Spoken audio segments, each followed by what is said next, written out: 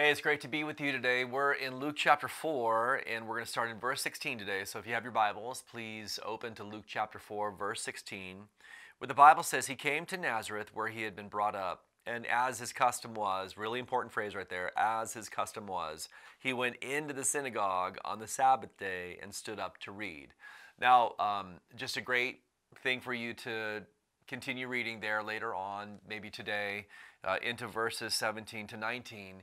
Uh, very significant moment for the ministry of Jesus as he starts here in the synagogue in Capernaum and he is reading from Isaiah chapter 40, what we know as Isaiah chapter 40. And it's a beautiful messianic portion of scripture that talks about um, all, all that the Messiah is going to do through the anointing of the Holy Spirit. Very significant portion of scripture. It was a public declaration in particular when he said to them, Today this is fulfilled in your hearing. So, really big um, moment in the earthly ministry of Jesus Christ. We're not focusing on that today, though.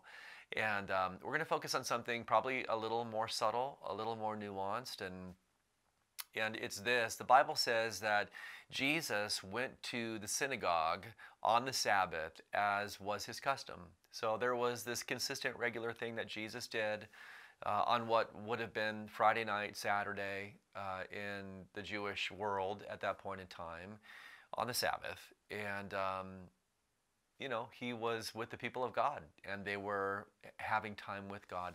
Now, I know that some people would say, well, you know, he was a good Jewish boy. Of course, this was what he did. It was part of the culture. Everybody, you know, everybody was engaged in this type of religious activity. And then there might be others who say, well, this was just, you know, religious activity, and so there's really nothing significant about it. But for sure, it was significant for the Lord. It was his custom um, to, number one, have intimacy with the Father, and it was his custom to have community with the people of God. That's what the word synagogue means. It really does mean community with each other. And those two things were so important to Jesus. Today we're just going to focus on we're going to focus on intimacy and we're going to save the community piece for another time.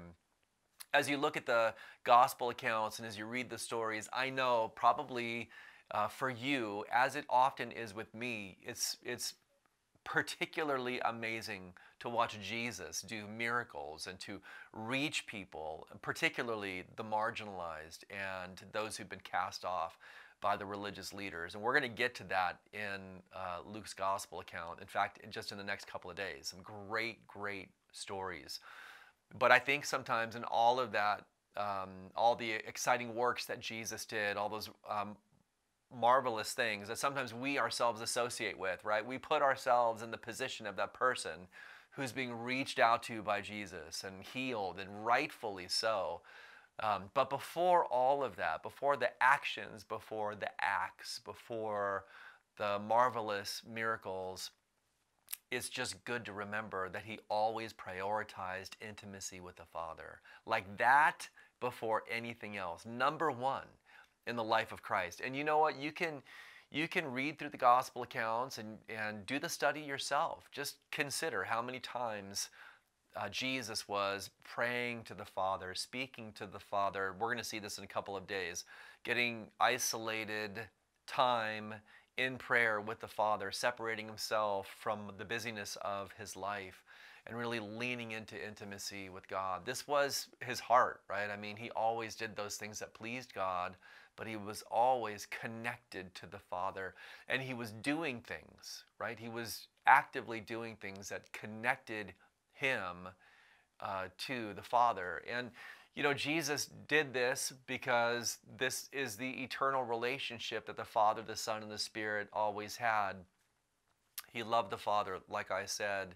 He also did this as a pattern for us to emulate. You see, just as intimacy with the Father was priority for the Son, intimacy with the Father should be priority for us, those of us who are the children of God. Like before the act, before the action, before the use of the spiritual gift, before we engage in all the doing. And I don't I don't know about you, but sometimes I can get really focused on all of the doing. But before all of that happens, what needs to happen first is just sweet, intimate time with God the Father. This really does need to be our pursuit. And if we're going to pursue it, the right way, you know that it takes time. Now, how we spend that time and the motivation behind the time for sure is important, but you know you won't get there. You won't get to intimacy unless you make the space for it.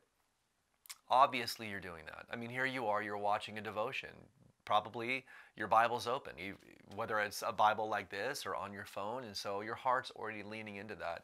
I just want to encourage you to lean into it more. Thank God for the steps of faith that you've taken, but lean into it more because there is nothing as sweet as those intimate, private moments that God gives to you. You know, I'm privileged to have the opportunity to see God do so many things through this church and through our ministry team. Extraordinary things, you know, people being saved every weekend and uh, crusades and church plants and so much activity.